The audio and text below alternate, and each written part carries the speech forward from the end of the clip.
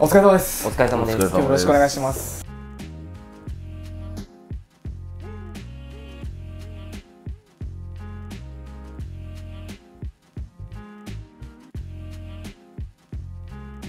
え今日は、えー、と新代田にあるアンスラックスストアに来てます。アンスラックスのデザイナーの中野さんです。よろしくお願いします。今日はお願いします。お願いします。アンスラックスは主にパンツズボンを作ってるブランドですね。でこんちゃんがよく履いてるそうですね。僕もオーダーして作ってもらったりします。であのブルーラグ上馬店でよくバイクを組んでいただいたりカスタムしていただいたりして僕らもお世話になってて中野さんの作るズボンをこんちゃんが愛用してたりしててっていう関係性なので、今日はいろいろ聞いてみたいと思います。よろしくお願いします。自転車のこともお話ししたいんですけどアンスラックスストアってどんなお店なのかっていうのを教えていただきたいんですけど。はい。おお店でもう今一人で生地の裁断からこう縫製まで全はい。部自分で、あのやりつつまあそのまあパンツをはい。販売してる感じですね。パンツを一から作るって感じですよね。はもう全部ハンドメイドってことですよね。いそうです。最初はブランドがあってお店がなくてって感じでしたっけ？あそうですね。最初はそうでしたね。ネットで販売してたってましたですね、は多分僕もお店ができる前に多分ねあのあ。緑のパンツを一本作ってもらいましたよね、はい前のお店は 池の上でしたよね。いそうですね。そっちの前ですよね多分はい。できる、まあ、やっぱりでもそのなんかこうやってハンドメイドみたいのがちょっとこうネットだとはい。分かりづらかったりするのかなっていうのもあって。あーまあ工房兼お店みたいのがあった方がうん。より伝わりやすいかなっていうのもあってお店を始めてみた感じですね。そうそもそもななんでそのイージーパンツっていうかあの感じを作ろうかなと思ったんですか？当時もう自転車にはまってたのであなんかこ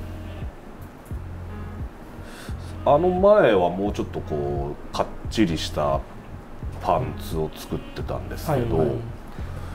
なんかこうもう自転車に乗りやすいのに振り切ってみようかなみたいなのがあってじゃあチャリンコ自転車っていうのも中野さんの作るパンツの結構でかい要素なんですか、そうですあ、ね。もともとはうん。そこが大きかったですかね。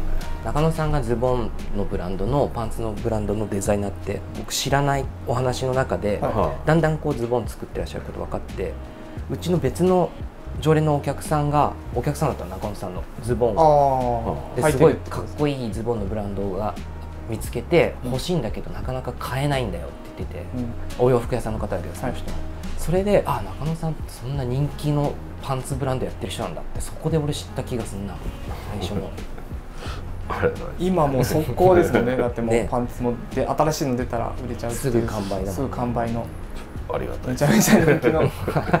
まあ俺も次のこれ欲しいんだよ。これ。これ新作でしょ？よあそうです良さそうですね、はい。本当にそのパンツでその自転車から入ったっていうのはあるんですけどなんかここはなんか自転車用にあるとかなんかそんなイメージがあるとかあったりするんですか？そうですね。あのこうちょっとこの股の部分とかをちょっとこう分かりづらいですけどマッチが入ってるのであこう足を広げやすいというか、うーんまあ、まあこう自転車をまたぐ時にああ足がなるほど。開きやすいんで。あと動かしやすいとかあったりするんですか？そう足。やっぱウエストゴムとかの方がうーうん。ん乗ってて楽ちん楽ちん楽楽ちんなので。めちゃくちゃ履きやすいし全然違和感なくチャリ乗れるし。ね。チャリンコ専用ってわけじゃないですよね。何にでも。あそうですね。も全然ライフスタ専イルではないですね。普段リラックスして履けるし、はいみたいなですね。僕のこのパンツも確かベージュのパンツが欲しいっていうのを多分中野さんに相談してなんか この色がっていうので話して作った感じがします確か。はい。これも去年ぐらい作ってめちゃくちゃ気に入ってます。ありがとうござい。ます今こういうカスタムオーダーって受けてるんですか？大体その生地が在庫あればあれば。はいできますえー、自分のブランドやる前はお洋服屋さんだったんですか？えっとまああのテーラーってあのこう、オーダーメイドのスーツを。あええー。それは知らんかった。ところでまあ修行じゃないですけど、うん。そういうことをしつつ。裁断とかパターンとか飯。そうですね。まあ主に縫製をやってて、うん。そういうとこに入ったのが多分24ぐらいの時うん。で、結局67年ぐらい、まあ、転々としつつはい。下積み時代というか。えでその時に はい。あれですか？自転車に乗り始めたって感じですか？そうですね。もともと二十歳ぐらいの時に、はい。ロードバイク本当普通のトレックのあロードバイクを買ってはい。乗ってたんですけど、あ、うんうんえーまあ、その時そんなにはまってなかったというか、普通に通勤の足みたいな感じですか？でまあそれがちょっと僕の不注意で盗まれて次何買おうかなってなった時にもう、うんうんそんなに高いの買わなくていいやと思って、うんうんあのちょっとブルーラグじゃなかったんですけどはい。他店で、あのサーリーのスチームローラー。ああそうだった。はあーそれが一番最初ですか？そう一番最初っていうかそのまあサーリーとか。サーリーとかを入るきっかけはそうですね、えー。まあ本当なんか多分正月だったんですよ、うん。なんかお正月セールみたいのではい。15%オフぐらいになってたんで 完成車で。もうサーリーのメーカー完成車みたいな。はああ僕も一番最初それ買いました。いそうですね当時まあスチームローラーの完成車がそうだよね普通にメーカーで出てたんで。出てましたね。それで10万前後だったじゃないですか。そうですね。んんうん。でまあそれを買って乗ってたんですけどまあなんかあんまりよく知らずに買ったんで、はい。よく調べ調べてたというかなんかいろいろネットとか見てるとこう、どうやらこうサーリーってカスタム楽しいっぽいなみたいな。ああサリ買ってからそれそうっすね。んえー。それまで本当に何も。何にも知らなかったですね。でそしたらなんかこう調べてたらブルーラグってお店出てきて、はい。でこうなんかいパーツがいっぱい売ってるなと思って、はい。あの幡ヶ谷店にちょっと多分こう自分で交換できるぐらいのグリップとかあー。そうですよね。そういうのをとりあえず買いに行ってそれからですかね。結構こうスチームローラーをコツコツカスタムするよいじってうって。になってって感じですね。スチームローラーその後塗りましたよね。確か。塗りました塗り色変えたっていうのがあってなんとなく覚えてたんですけどそれを機に多分パーツ一新しましたよね。多分あそうっす。ねなんかお持ちのパーツもリペイントオーバーホールオープラスバーホールカスタムみたいそうっすね。でスチームがそんな感じだったんですけど多分僕のインパクトが強いのがやっぱりサーリーのロングホールトラッカー。そうそう。そう。あのさんのチャリといえば。アーミーグリーンのはフレームにあの本上のキックオフェンダーが前後ついててあの雰囲気がめちゃくちゃかっこよくて確か当時のマイサーリーみたいななんかお客さんのを僕らが選ぶっていうので多分僕が中野さんのを選んで賞をいただきましたね神馬賞みたいな感じではあの時がすごいかっこよかったんですよ本当。リアルなサーリーというか。あの感じって出そうと思っても出せないというか。なんかすごい 独特な雰囲気でかっこよかったんですよね。ありがとうございます。あの時まだ俺中野さんの正体知らなかったから謎のそうっすねじゃなかった。なそうですね。マッチョで おしゃれでそうですね。で乗ってるサーリーがかっこいい。そうですね。な何やってる人なのかなと思ってたら あの時まだ亀甲のフルフェンダーとかあんまいなかったですよねいなかったまっすね。かもしれないですね。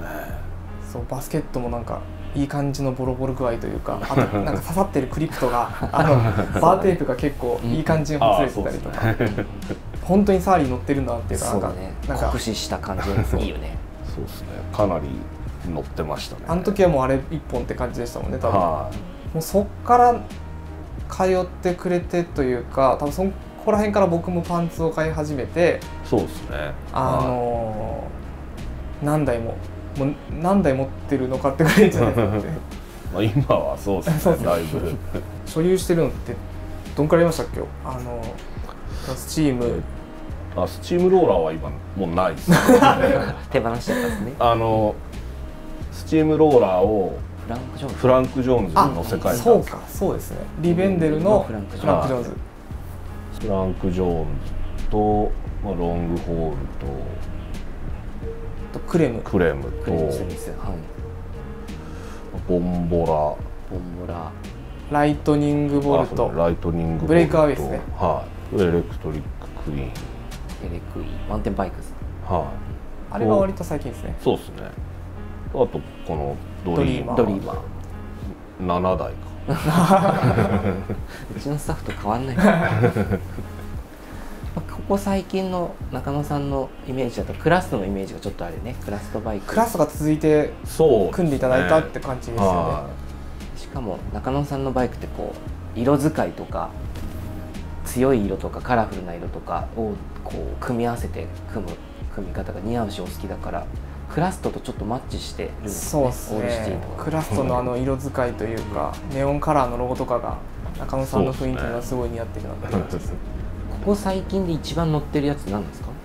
まあリベンデルやっぱり一番街乗りでは乗っあちゃうんですけどね、通勤とかはい、まあ、あとは、まあ、ドリーマーか。あドリーはい。って感じですかね。そのバイクでそのこの時はこれ乗るとかあそこ行くからあれ使うとかっていうのあったりします？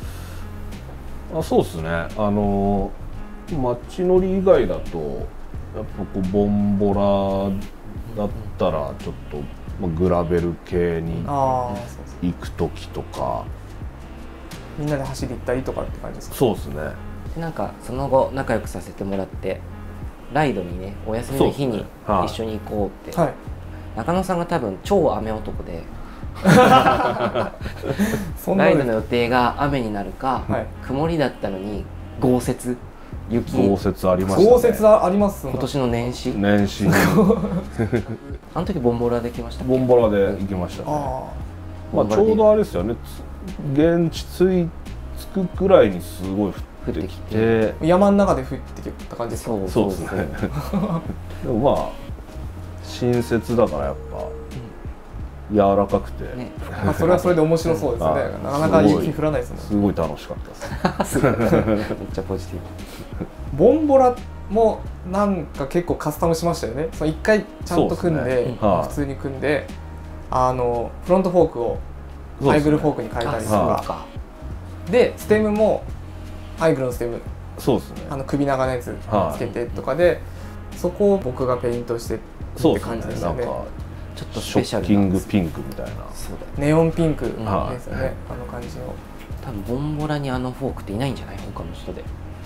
そうっすね。あのスペシャルフォークは本当かっこいいので。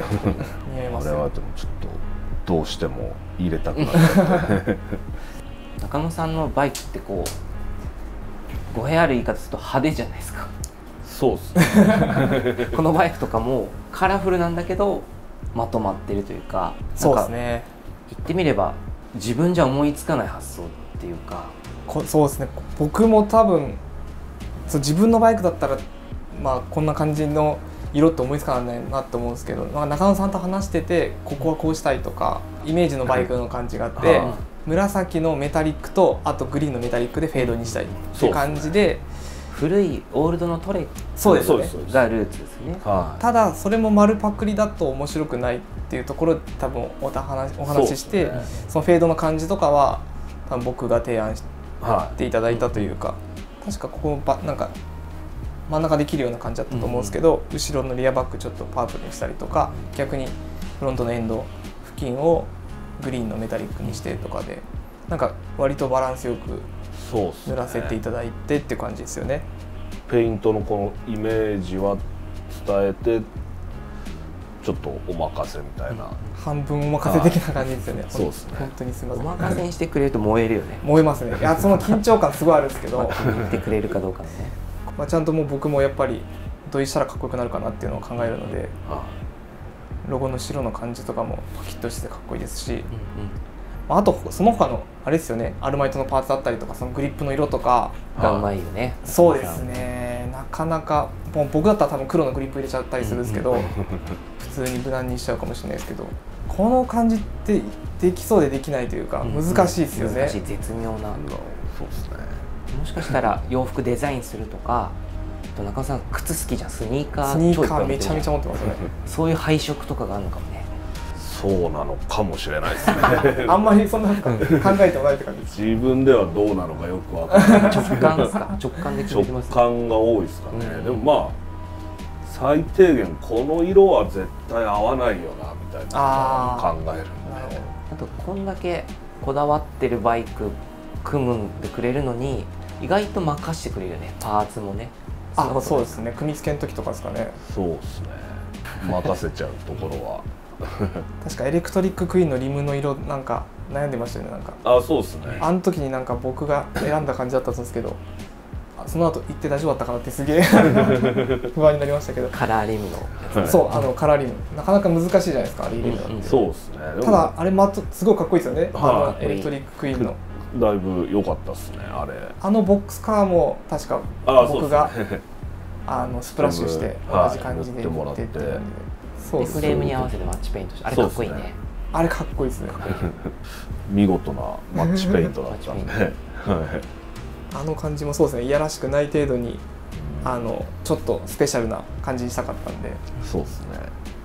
で僕も結構そのステム塗るの好きではあの IF のについてるトムソン塗ったりとか、い。はあと今ちょっと組み途中なんですけどオーシャンエアを新しくリペイントしてそれもアイグルステムつけてアイグルステムを同じ色にしたりとかはい。っていうのでやると結構他ではできないというか、うん。なんかなんていうの結構スペシャルそれだけでスペシャルな感じになるので本当難しいんですけどなんだろうなその本当に何でも何でもかんでもこれあれにしたいこれにしたいっていうよりかはなんか本当一個だけ特別なものを見つけて、なんか差し色にしたりとかっていうのがすごいスペシャルな感じでかっこよくってそれこそそのエレクトリッククイーンがさっき出たんですけど、はい。そのボックスカーステムだけスプラッシュペイントしてうん。同色でっていうのがいはい。いいなと思ってて、あれだけでだあれだけど なんかなんでしょうね。本当スペシャル感が 出ましたよね。むずいんですけどね。ステムって長さがあるじゃないですか。はい。そうですね。一か八か塗ってかっこよくなって しばらく乗ってあ90ミリじゃなくて100ミリだったねとか。そうですね。結構博打なペイントではあるけどね。割とそうですね。そのポジションとか決まってれば、うんうん。なんかバシッとそこでいって。そうですね。うちあのボックスカーもシルバーのボディなんですけどはそのフェイスプレートは塗らないプランだったんですよ。い。はだったんですけどシルバーのフェイスプレート合わねえなと思って 一応あれの上に黒く塗ったんですよ。い。はだからあれだけ純正の黒っぽいんですけど一応キャンディーのブラックを塗ってます。いなるほどそ自こだけ。そこだけ。黒自慢が。黒自慢したかったです。最後そんな感じで本当中野さんにはもう何台も僕らが組ませ組ませてもらってて。しかも1台ずつ全部かっこいいね。そうなんですよ。スペシャルバイクが最近は多いので僕もパンツを買ったりしたいと思いますんで今後も。大さんよろしくお願いします。お願いします。じゃあ今日はそんな感じで、はい。はい。ありがとうございました。ありがとうございましたありがとうございます。はい、ありがとうございます